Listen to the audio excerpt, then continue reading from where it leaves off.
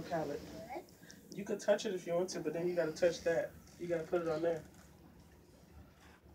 Good job. Ooh, I like it. Look how creative my baby is. Deep. Yeah, put it on there.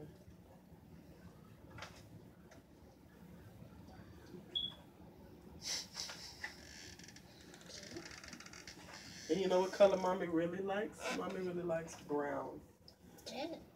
Guess why mommy likes brown? Guess why mommy like brown? See? Look, Bye. that's brown. Mom, yeah, mommy like brown, cause you brown. You a chocolate brown, baby. Yeah. You don't like to use the paintbrush? You know some artists don't like to use the paintbrush. You gonna use a hand. Some artists use that's fine. My kid a free spirit. Yeah. He don't want to get limited to the brush.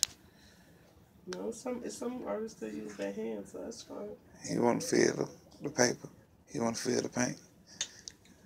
Shut up. My kid. Good job, boo. Mm. Yeah, you can use it. This is